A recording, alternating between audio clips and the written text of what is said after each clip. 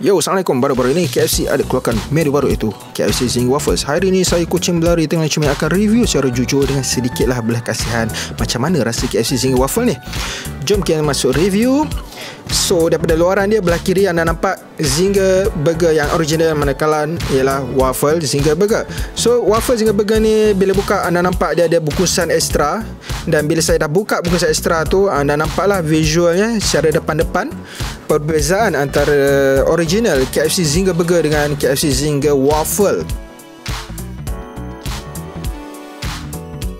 Okay, kat sini kita bagi pusing sikit KFC Zinger Burger dia macam mana rupa dia supaya anda tak lupa.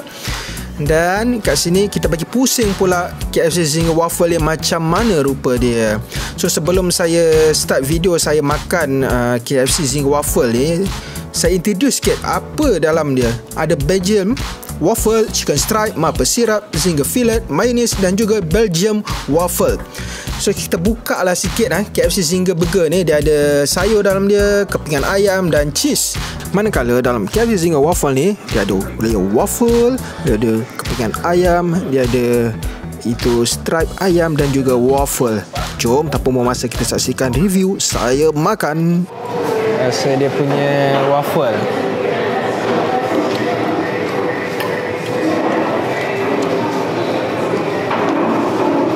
waffle dia rasa pelik gila. Ya, ah. rasa macam apa? Ah?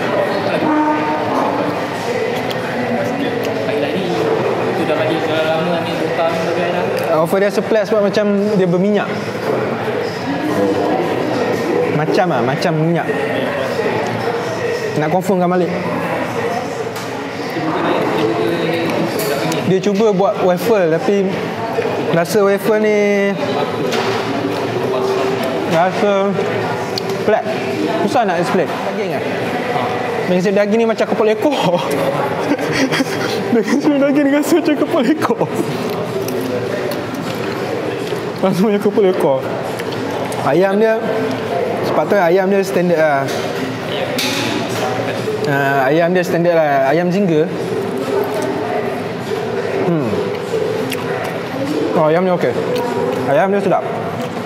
Cuma dengan waffle dia tak macam waffle yang makan hari-hari dekat kedai mamak sebab keras atau tepi jalan. Malam ni dengan tadi. Hmm. Ayam ni ayam ni sedap. Sos bawah ni dia buat sos Ah, main ni, main ni biasa je. Dengan ada maple syrup rasa sikit-sikit je sebab dia letak dia tak adalah sampai banjir. Biasalah advertisement kan lain sikit dengan yang sebenar. Kena makan sekaligus.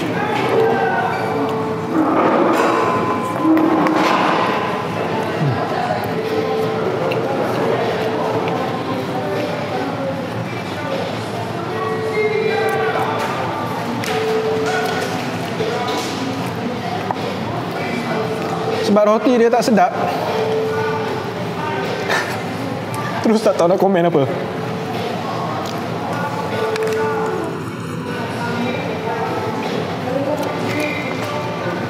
Yang satu roti dia tebal. Bila roti dia tebal, dua tebal, memang kita akan kenyang. Tapi sebabkan ayam ni dia lagi kurus daripada roti ni. So, kemungkinan besar bila kunyah tu, rasa roti dia lagi lama daripada ayam tu dia, dia akan stay rasa macam kau makan roti ni je cuma disebabkan oleh rasa dia dah jadi macam ni nak makan pun um, cepat muak ni terpaksa guna secret weapon lah secret weapon kita sos cheesy tadi dengan sos chili nak tak nak kena tambah dua ni juga Jadi apa dia? Cuba orang keluar. Ha. Dah letak sos cili pula. Sebab roti dia tebal. Kalau perasa tak kena sebab jadi Ha? ha? Manis. Tak kisah.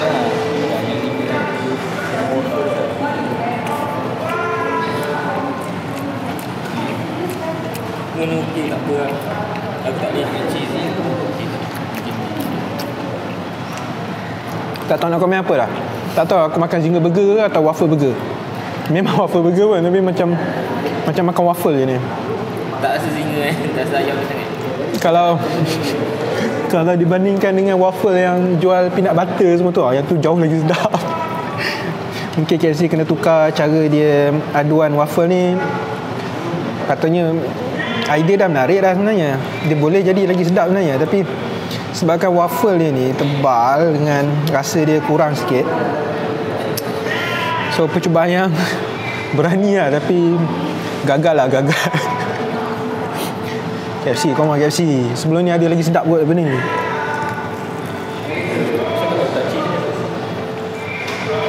Oh muaknya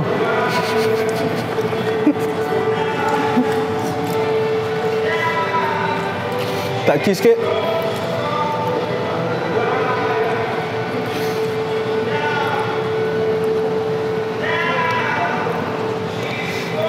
So waffle cheese. Nampak kan? Rasanya nampak cukup. Hmm. Oh terima kasih. Extra cheese anda membantu saya. Barulah rasa sedap. Dia overpower dia punya taste eh. Sebab saya expect nak rasa burger tu lebih. Apa KFC ni Ayam tu lebih. Tapi dapat roti lebih Roti dia tak sedap pula Kalau roti dia sedap okey lagi Roti waffle ni tak tak kena. Hmm, roti waffle dia tak kena. Lepas tu lagi satu dia punya sirap Apa? Sos Sos maple syrup dia. Maple sirap dia tak cukup Tak cukup banyak Tak cukup kick ha, Rasa. Tak cukup rasa So bila kau pegang tu macam kering. Dia ah. taruh satu layer tu je. Review pada kawan saya Dia kata pegang burger ni dia rasa kering Memang kering pun kering Apa-apa pun kalau siapa nak try Saya suggest Beli extra cheese. Sebab bila makan extra cheese Dia hilangkan rasa bosan Roti ni yang kering dengan tebal ni.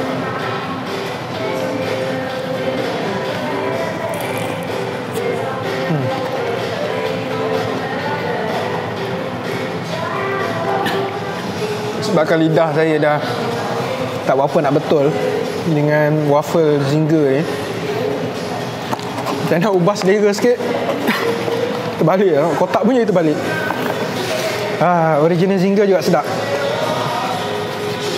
Nak makan zinger burger ha, ni.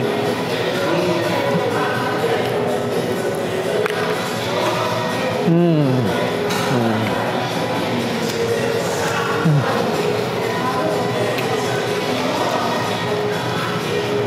Yang original kat terbaik. So kesimpulannya Kalau siapa nak First time try Boleh? Lepas tu tak try dah macam saya. Mungkin bukan saya punya taste. Kok ada orang suka tak tahulah. Uh, Rasanya kalau Kita buat sendiri waffle ni kat rumah Lepas tu kita beli zinger burger Ambil dia punya burger Waffle ganti dengan waffle kita sendiri Lagi sedap rasanya. Sebab kalau rasanya waffle ni dia buat Macam waffle original Rasa original mungkin Saya boleh enjoy lagi lah kot Sebab ni waffle dia keras sikit. Kalau waffle dia lembut Rasanya tak ada masalah kot.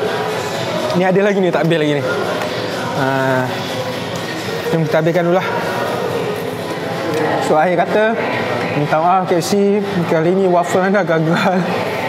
Cuba lagi next time. Uh, Bukan saya kata Tak mengenyangkan Memang kenyang Cuma Siapa nak try tu Boleh. Saya tak alang Sebab benda ni menarik.